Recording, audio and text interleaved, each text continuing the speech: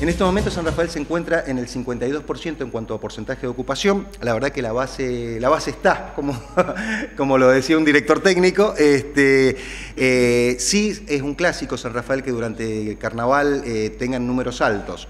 Si bien hay que recordar, que no venimos de una, de una, muy buena temporada, sino los números han estado por debajo de lo que han sido las medidas históricas, muy por debajo, muy por debajo de lo que fue el año pasado, pero Carnaval sabemos que es un clásico y la gente, los turistas lo eligen muchísimo para venir a San Rafael.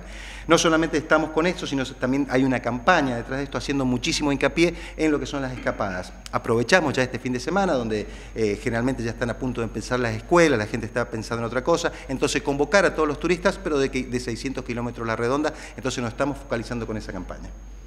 Mira, en el mes de enero se cerró tres puntos por debajo con respecto al año pasado. Este, fueron el 73% el porcentaje de ocupación que se cerró, en comparación del año pasado un 76%, y a valores históricos estábamos hablando de un 90, un 92%. Esta, mm, estos números se vienen repitiendo, desde lo, lo pudimos ver en la temporada pasada, la temporada invernal. Este, se pensó en un primer momento con esto del dólar iba a favorecer, pero bueno, la economía no ha podido acompañar. Vos acordate que hoy un turista para que pueda llegar a cualquier destino turístico eh, tiene que hacer un desembolso realmente importante, ya empezando por el combustible. Lo que nos ha permitido a nosotros ser competitivos es haber mantenido las tarifas, no haber volcado las tarifas, por ejemplo, en cuanto a alojamiento, eh, con respecto a la inflación que ha habido. Entonces, bueno, a nosotros nos ha permitido tener, cerrar con estos que son eh, muy altos para cómo ha estado la provincia. San Rafael se ha destacado por cómo los turistas han venido y nos han seguido eligiendo.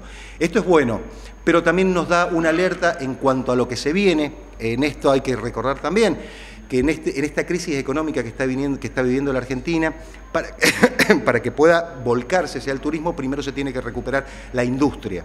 Este, que la gente tenga plata en el bolsillo. Entonces, este, este verano que estamos esperando seguramente va a llegar dentro de bastante tiempo, ya que primero hay que recuperar la economía para que la gente pueda disfrutar del ocio, ¿no es cierto? Es que se va a mantener el agua para carnaval y después empieza directamente con los cortes. Esto, tiene que, esto depende de muchas variantes, ya que han habido estos seccionamientos que se están realizando, están en análisis por parte de irrigación para ver si se puede llegar con el agua a carnaval, pero sí después, de, eh, perdón, a Semana Santa, pero sí después de carnaval ya se corta, se está cortando el día 4 el día 4 es la última comunicación que tenemos con irrigación, que el día 4 se estaría cortando el río.